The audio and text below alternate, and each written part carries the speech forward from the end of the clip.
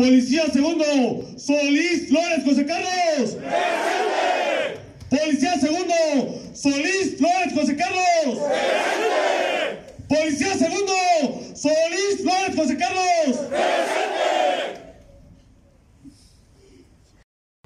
Hoy la Dirección de Seguridad Pública en el municipio, el municipio, su servidor, le damos nuestras más sinceras condolencias a toda la familia.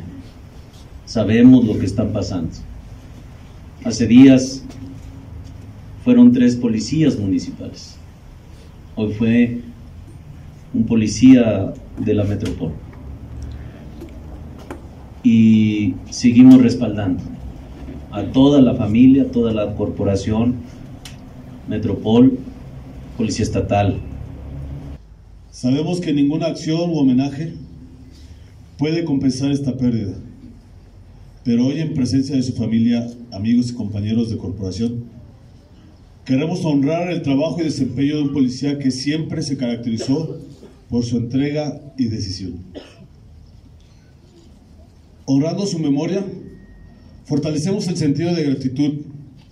Con este reconocimiento, damos visibilidad a su trabajo como ejemplo de lucha y solidaridad. Ejemplo que nos debe llevar como sociedad a apreciar la labor que día a día hacemos como policías, arriesgando la vida en defensa de los derechos de los ciudadanos. Hoy nos toca vivir un hecho doloroso. Cobardemente nos arrebataron un valioso policía, compañero, hijo. Y le pedimos al fiscal nuevamente que se llegue hasta sus últimas consecuencias, se investigue, porque no puede haber impunidad en estos lamentables hechos. Hoy quiero solidarizarme con toda la familia, que pronto encuentren paz en su interior, se reconforten con la ayuda del Creador. A todos les extiendo mis manos sinceras y un fuerte abrazo para todos ustedes. Y quisiera, a manera de homenaje, un minuto de aplausos para este elemento, Carlos. Si me lo permiten, un minuto de aplausos.